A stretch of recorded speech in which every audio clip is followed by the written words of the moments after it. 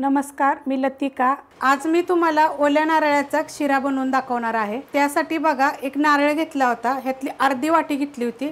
खिसून घेतलेली आहे बघा अशी बारीक. खाऊन जरी घेतली तरी चालेल. आणि त्याच वाटीच्या प्रमाणे दोन वाट्यात दूध काढून घेतलेलं आहे. आणि हे काय मी गाळलेलं वगैरे नाहीये. त्याच्यामध्ये थोडंसं जरी खिस असलं ना नारळाचं तरी चालते पाहिजे तुम्हाला तर तुम्ही हे गाळून पण घेऊ शकता. कॉटनच्या मलमली कपड्या किंवा चाळणीमध्ये गाळून घ्यायचं.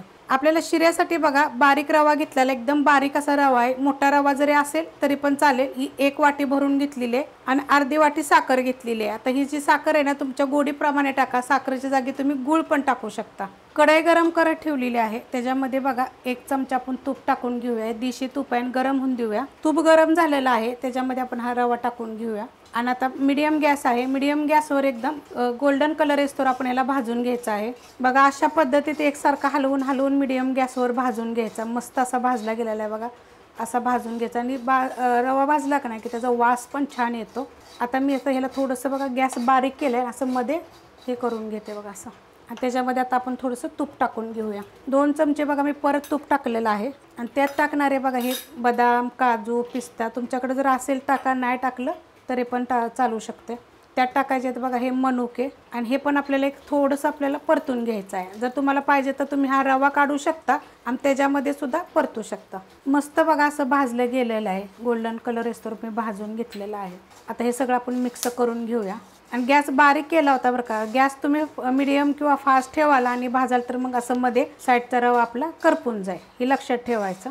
आता ह्याच्यामध्येही खोबरं मी खिसून घेतलेलं आहे वल्ल हे टाकायचं. त्याच्यावरती काळी पाट असते ना ती मी काढली नव्हती. तुम्हाला पाहिजे तर तुम्ही ती काढू शकता. आणि बारीक एकदम खिसणीने खिसलेलं आहे ज्याचं आपण आलं खिसतो ना त्या खिसणीनं. खाऊन घेतलं चालतंय किंवा मिक्सरला जरी फिरवून घेतलं तरी चालतं एक मिनिटभर फक्त आपल्याला ह्याचा मिडियम गॅसवर परतून घ्यायचे परतून घेतलेलं आहे बघा मस्त असं एकदम. गॅस आपला मिडियमच आहे. त्याच्यामध्ये वेलची जायफळ पूट टाकलेली आहे. अर्धा चमचा. दोन विलायचे मी कुटलेले आहेत आणि थोडंसं एकदम तुकडा जायफळचा आहे. हे मी कुटून घेतलेलं आहे. साखर थोडीशी टाकायची आणि कुटून घ्यायचं. मिक्स करून घेतलेलं आहे बघा.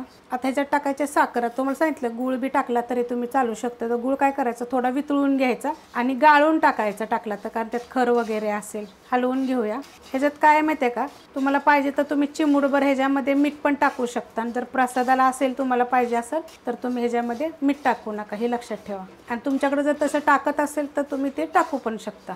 आता हे बघा साखर टाकल्यावर पण मी एक मिनिटभर परतून घेतलेलं आहे. गॅस आपला मिडियमच आहे. आता हे अर्ध्या वाटीचं बघा हे मी दुधासारखं बनवून घेतलं मिक्सरला फिरवून घेतलेलं बघा घट्ट किती आहे. पण गाळून घेतलेलं नाही आहे मी. तुम्हाला पाहिजे तर तुम्ही हे गाळून पण घेऊ शकता. गॅस मिडियमच आहे. आणि दोन वाट्या झाल्या होत्या हे लक्षात ठेवायचं. आता ह्याच्यामध्ये आपल्याला एक वाटी आपल्याला ह्याच्यामध्ये पाणी टाकू शकता. नाहीतर दूध पण टाकू शकता बरं का आपलं साधं. हे बघा आता ही एक वाटी मी ही पाणी घेतलेलं ज्यात आपलं खोबरं होतं ना त्याच वाटीमध्ये मी पाणी घेतलेलं आहे. मिक्स करून घेऊया.